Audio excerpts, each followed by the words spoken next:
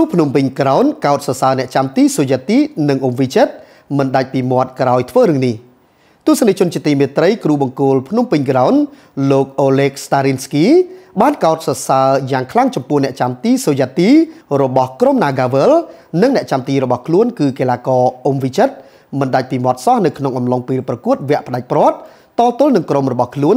នៃពានរង្វាន់ Cambodia League Cup ឆ្នាំ2023រដូវកាលទី2កាលពីយប់មិញ ក្រុមភ្នំពេញក្រោនបានក្រងជើងឯកពីរង្វាន់ខាងលើនេះពីឆ្នាំជាប់ជាប់គ្នាក្រោយពីបានយកឈ្នះបាល់កាត់សេចក្តី11ម៉ែត្រលើក្រុម Nagavel នៅក្នុងលទ្ធផល3ទល់នឹង2បន្ទាប់ពីប្រកួតស្មើគ្នា1ទល់នឹង1ក្រោយបញ្ចប់ការប្រកួតខាងលើនេះនៅក្នុងសន្និសីទសារព័ត៌មាននៃឯកលដ្ឋានកងយុទ្ធពលខេមរៈភូមិន្ទឆ្លើយតបទៅនឹងសំណួរអ្នកសារព័ត៌មាន SBM News ដែលបានសួរថាតើ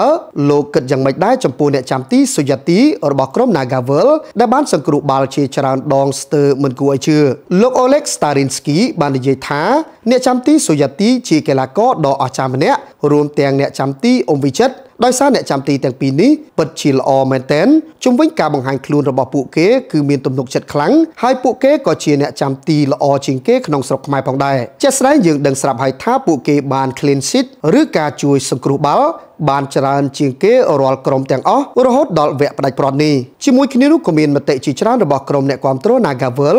រួមទាំងភ្នំពេញក្រោនបាននិយាយថាក្រុម Nagavel ប្រសិនបើគ្មានអ្នកចាំទីសុយទីប្រហែលជាមិនអាចឡើងមកកាន់វគ្គផ្ដាច់ព្រាត់ពីរង្វាន់នេះបានឡើយគូបញ្ជាក់ថាអ្នកចាំទីសុយទី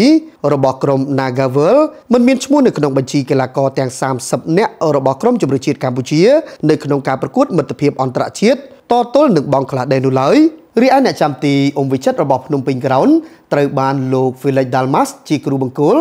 បែរជាកោះហៅចូលក្រុមជម្រើសជាតិកម្ពុជាទៅវិញ។